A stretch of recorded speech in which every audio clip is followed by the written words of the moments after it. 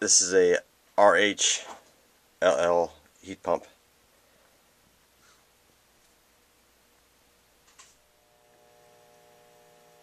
Okay, this is the inside. And it has a X13 ECM motor, constant torque motor. It mimics a PSC motor. But you still get your efficiency and it doesn't get warm to the touch either because it's an ECM motor. Then we have no, no strip heat on this unit. Okay, the blower wheel sitting right here, and then you have your plenum. So you want to uh, have your duct takeoffs at the end of the plenum on a heat pump. On this heat pump, not at the beginning, because the air will not be recognized if you put them on the beginning, so they have to be at the end of the plenum.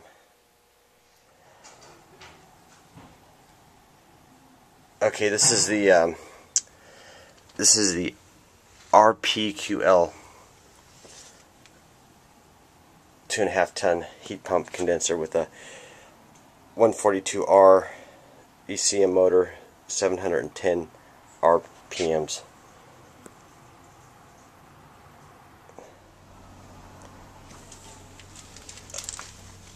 Okay, got the uh, the door off. This is the discharge muffler for sound.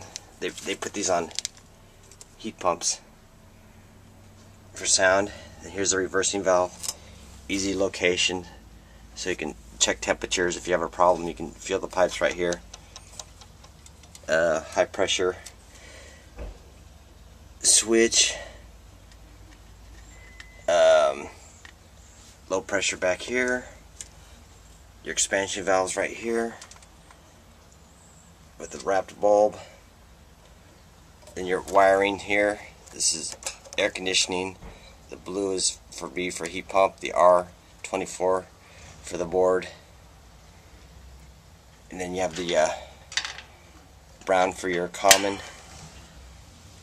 This is the smart box for the AC that I have wired in, breaking common. And then here's your uh, comfort control board with your defrost board up on top with a defrost relay. This is your plug for your ECM motor. So it's pretty easy to work on.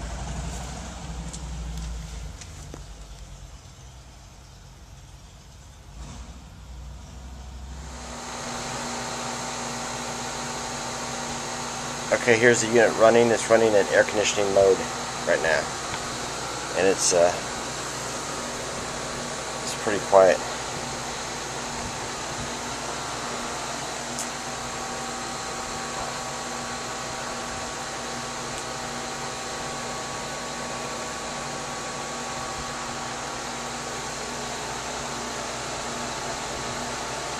Seven hundred and ten RPMs, three bladed fan, nice and quiet.